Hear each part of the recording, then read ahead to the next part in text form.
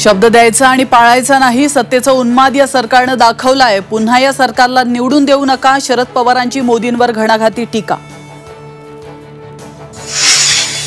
नटसम्राट परवडतो कार्यसम्राटही परवडतो मात्र पलटी आणि खोके सम्राट परवडत नाही. अमोल कोल्हेंची अजित पवारांवर सडकून टीका.